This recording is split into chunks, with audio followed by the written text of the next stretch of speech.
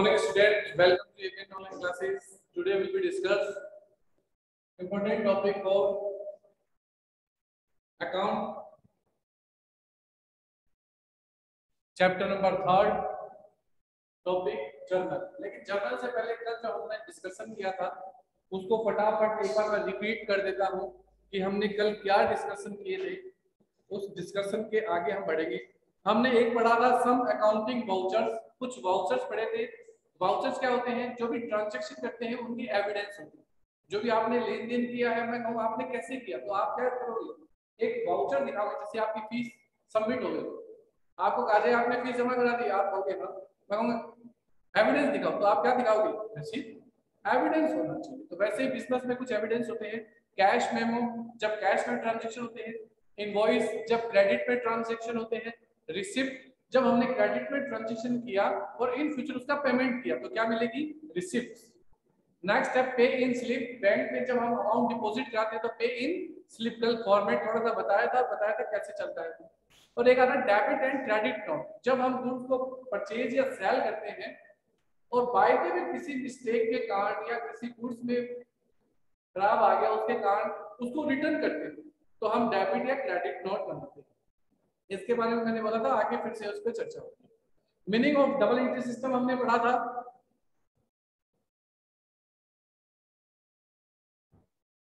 Meaning of double entry system हमने study किया था। Meaning of double entry system क्या है? कि इसमें हमने पढ़ा था, जितने भी बिज़नेस में ट्रांजेक्शन होते हैं, वो लगभग कितने अकाउंट्स इफ़ेक्ट मारते हैं? टू अकाउंट्स और वो भी कैसे? अपोजिट डायरेक्शन एक डेबिट एक क्रेडिट हमेशा जितने भी ट्रांजेक्शन होते हैं, उसमें टू साइडेड होगा। अपोजिट डायरेक्शन में चलेगा, जितना अमाउंट डेबिट में जाएगा, उतना ही अमाउंट किसमें आएगा? क्रेडिट में आएगा डेफिनेटली ये डबल एंट्री सिस्टम बोलता है। और एकदम परफेक्ट सिस्टम यही है, क्यों? क्योंकि इसको हमारा जो इनकम टैक्स डिपार्टमेंट है, इसको राइट ऑफ़ करता है कि यही सही है। इससे अगर आप लिखते हो तो आपके डॉक्यूमेंट सही माने जाएँगे, नहीं तो नहीं माने जाएँगे। जैसे अगर मैंने अकाउंटिंग सारी बुक्स लिखी है according to double entry system तो कोई प्रॉब्लम नहीं। लेकिन अब मैंने अपने हिसाब से कोई स्लिप में लिख लिया, कुछ कह दिया, मुझे तो याद है, मैं क्यों लिखूँगा? तो इसको इनकम डिपार्टमेंट नहीं मानता। आपको लिखना पड़ेगा डबल एंट्री सिस्टम से। अब इसमें हमने दो साइड पढ़े थे, एक डेबिट होता है और एक क्रेडिट होता है। फिर इसकी कुछ हमने हिस्ट्री पढ़ी थी कि ये हुआ कैसे। तो हमने पढ़ा 1494 में लुकास पेशुली एक था जिसने डबल एंट्री सिस्टम को बनाया। उसके रूल्स बनाए। कहाँ का था? इटली का था। कौन से शहर में रहता था? वेनिस शहर में रहता था। कौन सी लैंग्वेज में लिखा? इटली का था इटालियन में लिख दिया। लेकिन इतने परफेक्ट रूल थे कि लोगों को लगा इसी रूल में सारी क्या होनी चाहिए? अकाउंटिंग होनी चाहिए। तो आगे जाके 1544 में हूज और कैसिल ने इस लैंग्वेज में, इसको किस लैंग्वेज में कन्वर्ट कर दिया? इंग्लिश में। और आज तक हम पढ़ते आ रहे इंग्लिश में। आज हम जो पढ़ रहे हैं वो सारा कुछ इंग्लिश में पढ़ रहे हैं अकाउंटिंग तो ऐसा इसका हिस्ट्री हमने पढ़ा। तो थोड़ा सा हिस्ट्री हमें याद होना चाहिए। कि हमारा जो बुक्स है डबल सिस्टम में हम लिखते हैं, वो कैसे आया, ये सब। फिर नेक्स्ट था हमने क्लासिफिकेशन ऑफ़ अकाउंट पढ़े। हमने पता है हर ट्रांजैक्शन में कुछ नाम होते हैं, कुछ अकाउंट होते हैं, हमेशा जितने भी ट्रांजैक्शन होते हैं, वो अकाउंट में डिवाइड होते हैं। तो वो अकाउंट कितने टाइप्स होते हैं? नॉर्मली बोला जाए तो टू टाइप्स पर्सनल इम्पर्सनल जबकि इम्पर्सनल के दो टाइप्स हैं रियल और नॉमिनल तो वैसे देखा जाए तो तीन अकाउंट होते हैं। नॉर्मली जो भी बोलेगा, वो कितने अकाउंट्स बोलेगा? थ्री अकाउंट्स क्या क्या बोलेगा? पर्सनल रियल एंड नॉमिनल लेकिन अगर ये बोला जाए कि रियल और नॉमिनल किसके अंदर आते हैं? किसके अंदर आते तो हम बोलेंगे इम्पर्सनल पर्सनल इम्पर्सनल और इम्पर्सनल के अंदर तो रियल और नॉमिनल फिर हमने इनके रूल्स पढ़े कि पर्सनल अकाउंट में क्या होते हैं? तो पर्सनल अकाउंट में जो भी पर्सनल हमारे पर्सन है, जो भी आदमी है, वो सारे शामिल होंगे. जो भी ट्रस्ट है, वो सारा शामिल होगा. ऑनर को रिप्रेजेंट करने वाला कैपिटल है ड्राफ्टिंग्स है, ये सारे कौन से अकाउंट होते हैं? पर्सनल अकाउंट और पर्सनल अकाउंट का रूल्स क्या होता है कि डेबिट द रिसीवर जो रिसीवर है उसको डेबिट करो और क्रेडिट द गिवर वो जो देने वाला है उसको क्रेडिट करो। अगर लेने वाला है रिसीवर है डेबिट और गिवर है तो क्रेडिट नेक्स्ट एक था रियल अकाउंट जितनी भी थिंग्स होती है, जितनी भी वस्तुएँ होती है, वो सारी किस अकाउंट में आती है? रियल अकाउंट किस अकाउंट में आती है? फॉर एग्ज़ाम्पल हमने पढ़े थे कैश हुआ फर्नीचर हुआ बिल्डिंग हुआ प्लांट हुआ, ये सब रियल अकाउंट इसके रूल्स क्या है? कि व्हाट इज़ कमिंग जो आया उसको debit and credit what goes out जो गया उसको क्रेडिट जैसे फर्नीचर आया डी आर अगर फर्नीचर गया यहाँ सी आर आता है डी आर जाता है तो सी आर ये इसका रूल है। नेक्स्ट है नॉमिनल अकाउंट नॉमिनल अकाउंट में जितने भी आपके प्रॉफिट है लॉस है एक्सपेंसेस है इनकम है वो सारे किसमें आएँगे? नॉमिनल जैसे सैलरी बोनस कमीशन कोई भी लॉस ऑन सेल हो कोई भी चीज़, वो सारे नॉमिनल करते और उनका रूल्स क्या है? जितने भी प्रॉफिट या लॉस जितने भी आपके लॉस और क्या है एक्सपेंसेस वो क्या होंगे? डेबिट और जितने भी प्रॉफिट या इनकम होंगे, वो क्या हो जाएँगे? क्रेडिट यहाँ तक हमने पढ़ा था। और इनको बोलते हैं गोल्डन रूल और ये गोल्डन रूल डेफिनेटली सबको लर्न होने चाहिए। जो पर्सनल रियल और नॉमिनल के दिखाए हैं, वो सब क्लियर होना हर एक बंदे को ऐसे पता होना चाहिए, ऐसे पूछा जाए कि हाँ अकाउंट कितने टाइप के होते हैं तो सीधा थ्री टाइप गोल्डन रूल क्या है? तो ये थ्री टाइप्स जो अकाउंट हुआ इनके रूल ही क्या कराते हैं? गोल्डन रूल गोल्डन रूल कराते हैं, क्योंकि इस पर ही पूरी अकाउंट पूरे अकाउंट इस पर गोल्डन रूल तो यहाँ तक हमने स्टडी किया था। आज का हमारा नया टॉपिक है, वो लिखो जर्नल आज स्टार्ट कर देते हैं जर्नल क्या थोड़ा सा एक टॉपिक और स्टार्ट कर लेते हैं. बेस ऑफ़ अकाउंटिंग एक टॉपिक और कर लेते हैं, उसके बाद स्टार्ट कर लेते हैं. बेस ऑफ़ अकाउंटिंग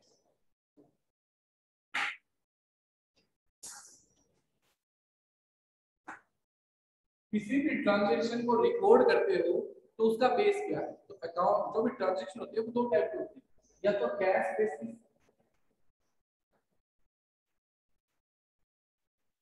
या एक्टिवल बेसिस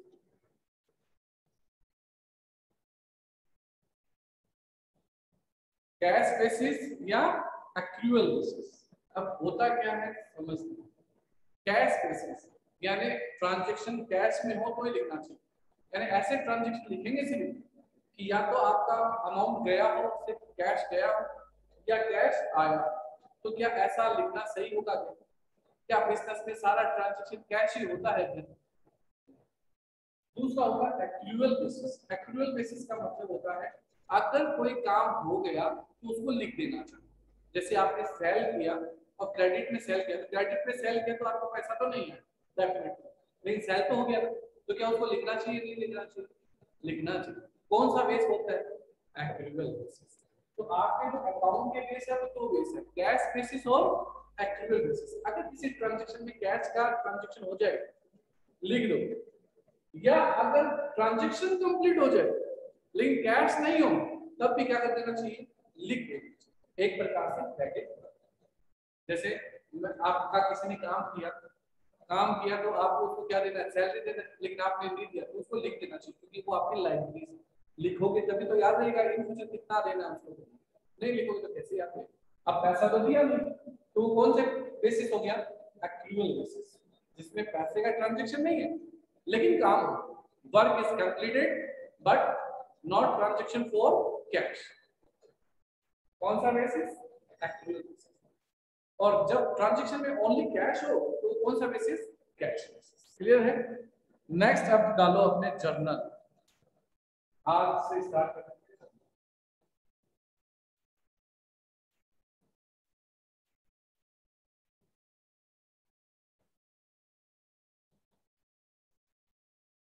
जर्नल लिखो इज़ इक्वल टू लगा के. इसमें धीरे धीरे बोल रहा हूँ आराम से online student journal is a book of a book of original entry original entry in which in which the transaction are the transaction are recorded first of all first of all as and when the tag place and when the tag place tag a k e tag place तो journal क्या है first of all पहले ये बात journal आपकी original जो entry है, उसको रिकॉर्ड करने वाली बुक है। ओरिजिनल एंट्री का मतलब है, जैसे आपका वर्क हुआ, होते ही सबसे पहले किसमें लिखा जाएगा? जर्नल तो जो आपकी ओरिजिनल एंट्री की बुक है, उसको क्या बोलते हैं? जर्नल इसलिए इसको कौन सी बुक बोलते हैं? प्राइमरी इसको कौन सी बुक बोलते हैं? First book of business first book of business क्योंकि जैसे ट्रांजेक्शन हुआ, सबसे पहले रिकॉर्ड कहा होगा? जर्नल क्लियर है? उसके बाद और चीज़ें चलेंगी। तो जर्नल आपकी फ़र्स्ट बुक है ओरिजिनल एंट्री की जाती है। इसको आप प्राइमरी बुक भी बोल सकते हो। और इसमें ट्रांजेक्शन फ़र्स्ट ऑफ़ ऑल यानी सबसे पहले रिकॉर्ड होते हैं। लाइन चेंज करने the process of the process of recording transaction the process of recording transaction in the journal is called journalizing called journalizing j o u r n a l i s i n g journalizing कई बार पूछा जाता है what is journalising journalising क्या है तो journal में transaction को record करना रिकॉर्ड करने का जो प्रोसेस हम कर रहे हैं उसको क्या कहते हैं जर्नलाइजिंग यानी जर्नल में आप चीज़ों को लिख रहे हो तो क्या कर रहे हो? जर्नलाइजिंग जर्नल में चीज़ों को लिखना. क्या कहलाता है? लाइन चेंज करके लिखो. Format of journal format of journal अब जर्नल का फॉर्मेट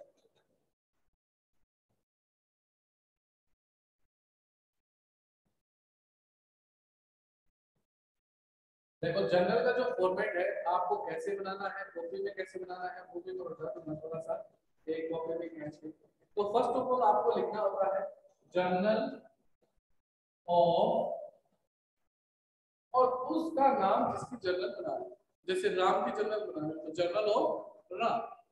Shyam limited की बना रहे हो तो क्या लिखा जाएगा? जर्नल ऑफ़ श्याम लिमिटेड उसके बाद में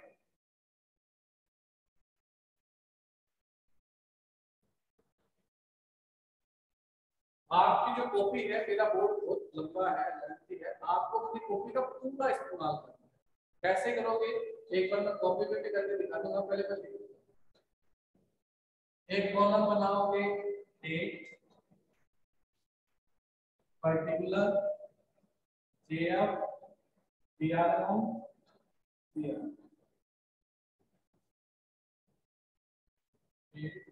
यू गेट पर कॉपी देना।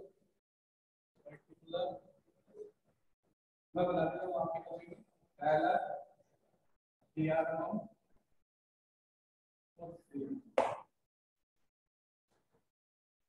अभी कॉपी में कैसे बनेगा? एक बार मैं कॉपी में बच्चे की बता के आपको शो कर देता हूँ।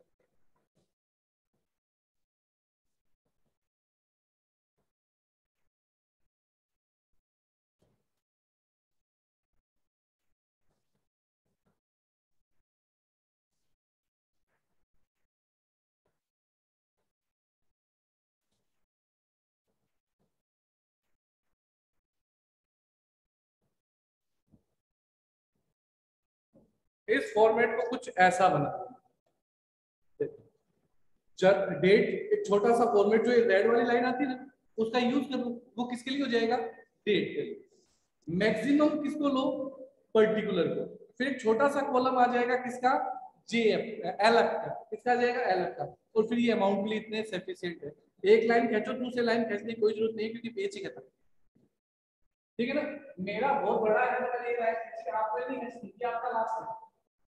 लास्ट कॉलम आप मैंने ये लाइन खींचा कि इधर बहुत लंबा अब पेज का ये लाइन खींचा आपको नहीं खींचना है। आपका तो पेज यहाँ से स्टार्ट आपको ये लाइन खींचना है। तो ये अपने आप बन जाएगा। सबसे पहला स्पेस पहला डी अमाउंट सी अमाउंट के कॉलम जहाँ तक वो दोनों की लेंथ इक्वल होनी चाहिए। और लास्ट में इतना करो कि ऐसे अमाउंट जैसे 1 लाख 2 लाख यहाँ तक अमाउंट आ सकती है बस इससे लंबी अमाउंट आनी ठीक है?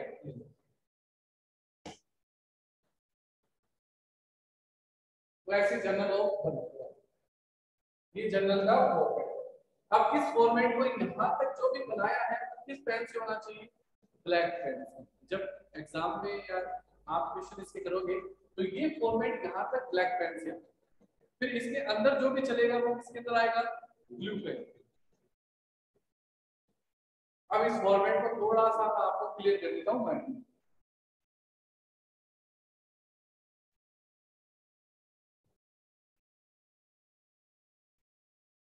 देखो फॉर्मेट को थोड़ा क्लियर फ़र्स्ट डे अब जैसे ही सबसे पहले आपका ट्रांजेक्शन होगा ओरिजिनल ट्रांजेक्शन है, वो रिकॉर्ड होने कहाँ आएगा? जब तक तो जिस डेट को होगा यहाँ वो डेट आएगी जैसे आज है फोर अगस्त तो आज का जो भी ट्रांजेक्शन होगा, ऐसे लिखो four August two thousand twenty one तो जब जिस डेट को होगा, उस डेट को आ जाएगा तो डेट के कॉलम पे डेट है बस इसको तो समझ लो, जब क्वेश्चन करेंगे जब समझ लेंगे पर्टिकुलर में क्या आएगा? पर्टिकुलर में उस ट्रांजैक्शन से रिलेटेड बात आएगी, जिसमें एक पक्ष कौन सा होगा? डेबिट एक साइड और दूसरा कौन सा होगा? क्रेडिट और दोनों हमेशा क्या होंगे? इक्वल एक मैं फॉर्मल एक एंट्री ले रहा हूँ तो मैंने नहीं समझाई फिर मैं समझा तो मैं एक बार फॉर्मल एंट्री ले जैसे ऐसे आ जाए business started with cash business started with cash तो उसकी एंट्री कैसे बनती है? तो जैसे सपोज़ 4 अगस्त को बिज़नेस स्टार्ट हुआ तो 4 अगस्त 2021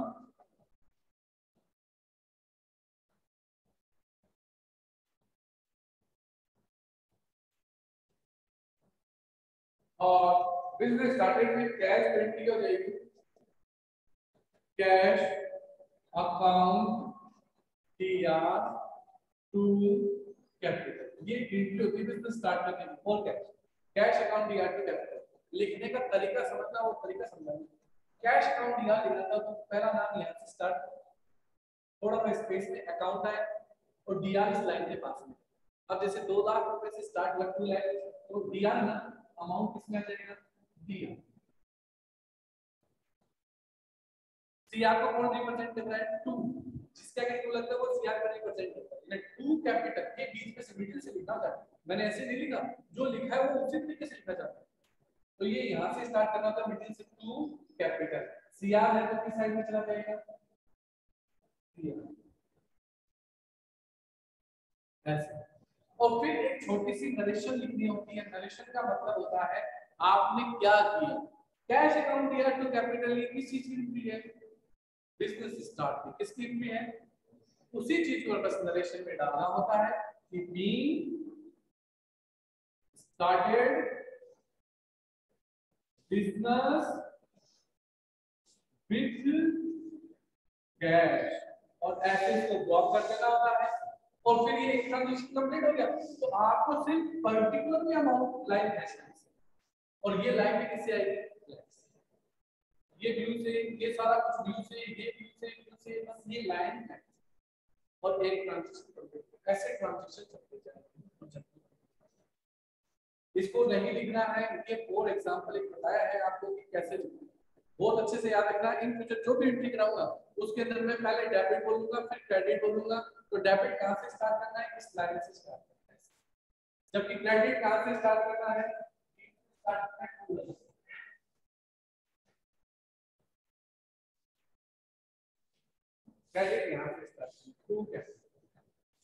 डेबिट के अमाउंट किस पे जाना चाहिए? डेबिट क्रेडिट के अमाउंट किस पे जानी चाहिए? क्रेडिट एक दूसरे के सामने होनी चाहिए। अपोजिट डायरेक्शन में जाती है अमाउंट सेम होती है अपोजिट डायरेक्शन में जाती है और अमाउंट सेम ऐसे ये जर्नल का एक फॉर्मेट है बस।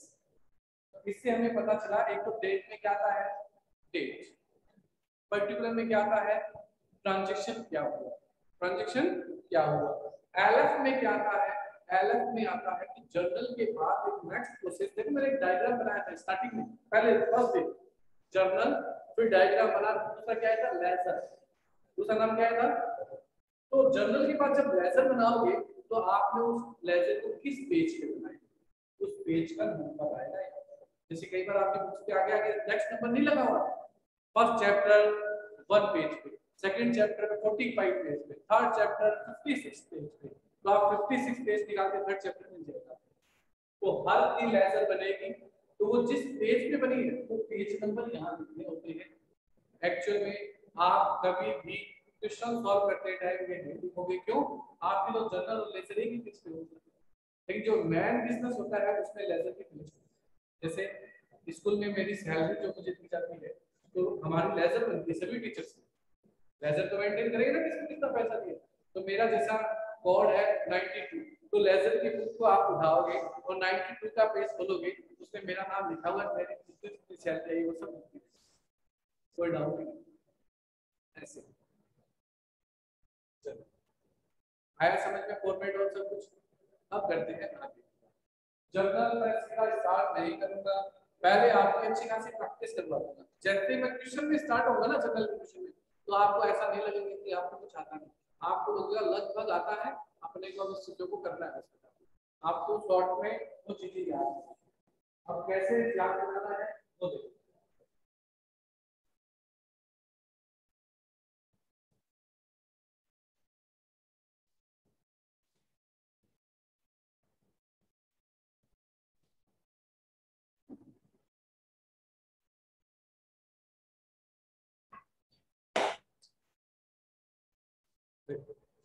सारी एंट्री मैं अपनी लाइफ में आपको कभी नहीं लिखा सकता। लेकिन मैं कुछ इंपॉर्टेंट एंट्रीज लिखा देता हूँ आपको कि कोई एंट्री ऐसी होती है। उन एंट्री को याद कर लो। उन एंट्री को अगर आपने लर्न कर लिया तो आप जब भी जनरल के क्वेश्चन जो हमारे इसमें दस, पंद्रह, बीस, जो भी दे रखे हैं, उनको जब भी निकालोगे तो आप सेवेंटी फाइव या एट्टी परसेंट तो कर जाओगे। आपको भी एंट्री अभी लर्न बचा ट्वेंटी परसेंट ट्वेंटी परसेंट वो बच्चा कर जाएगा, जिसको वो एटी एट्टी परसेंट इतनी अच्छी याद है कि उससे दूसरा कर सकता है। दूसरा कैसे जैसे कई बार हम नहीं होता कि मुझे अगर स्कूटी चलानी आती है तो मे भी पॉसिबल मैं बाइक भी चलाऊँगा बाइक आती है तो मैं स्कूटी भी चला लूँगा। बाकी नहीं चलाया लेकिन थोड़ा बहुत काम निकल जाएगा, क्योंकि मुझे उसका जैसा आता अच्छे से चलाना वैसे आपको कुछ एंट्रीज आ जाएगी जो मोस्ट इंपॉर्टेंट है, उसकी जैसी तो और तो आप उसमें सेटिंग बिठाने लगेंगे। और अगर वो चीज़ आ गई, इसका मतलब आपकी जर्नल तैयार बाकी जर्नल इतनी एंट्रीज है, लाखों एंट्री कैसे याद हो वो याद कैसे होंगी? सिर्फ़ ट्रिक से। ट्रिक तैयार एंट्रीज तैयार, खत्म। इंपॉर्टेंट जो एंट्रीज है, उनको हम डिस्कस कर लेते हैं, उनको मैं बता दूँगा। वो वो क्यों हुई?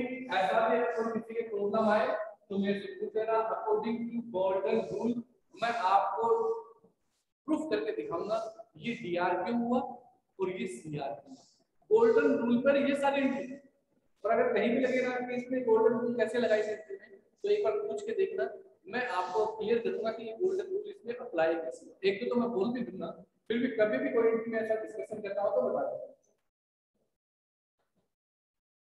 तो चलो स्टार्ट करते हैं। सब इंपॉर्टेंट एंट्रीज है ना? टॉपिक डाल दो सब important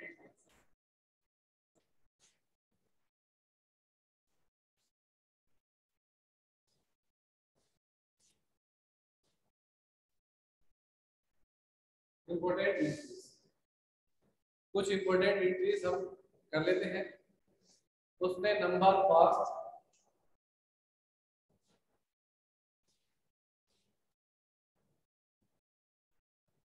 started, business. Business start अब बिज़नेस स्टार्ट कैसे कर सकते हैं? देखिए।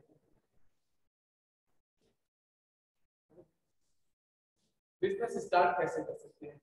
तो बिज़नेस स्टार्ट हम दो तीन तरीके से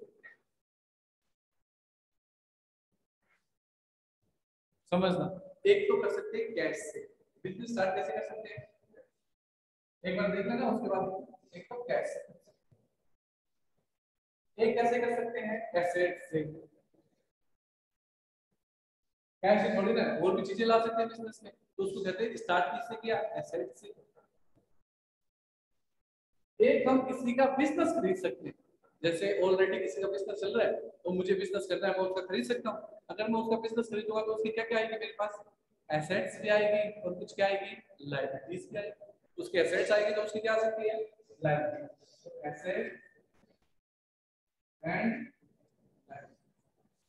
कैसे बिज़नेस स्टार्ट हो सकता इसके अलावा कैसे स्टार्ट होगा अब कैश से स्टार्ट होगा तो एंट्री क्या हो cash account here to capital cash से स्टार्ट होता है तो उसकी क्या होती है कैश अकाउंट या टू कैपिटल एसेट से स्टार्ट होता है तो उसकी एंट्री क्या होती है? Assets account DR to capital और लाइबिलिटी जब एसेट से स्टार्ट होती है तो एंट्री क्या बनती है? एसेट्स अकाउंट दिया टू लाइबिलिटीज और जो डिफरेंस आएगा वो कितना रहेगा?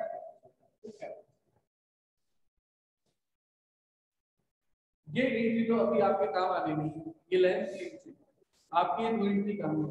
अब इसको सपोज़ ऐसे आए कि Shyam started business for cash Shyam started business for फिर ठीक है कैश अकाउंट दिया क्योंकि श्याम कौन है? ओनर ओनर को रिप्रेजेंट कौन करता है। कैपिटल अब इसको देखो, आपको गोल्डन रूल में समझाता हूँ। कैश कैपिटल कैसे लिया से अब बिज़नेस स्टार्ट हुआ। कैश आया या गया? आया। तो कैश अब कैश किसके अंदर आता है? रियल कैश किसमें आता है? जबकि कैपिटल किसमें आता है?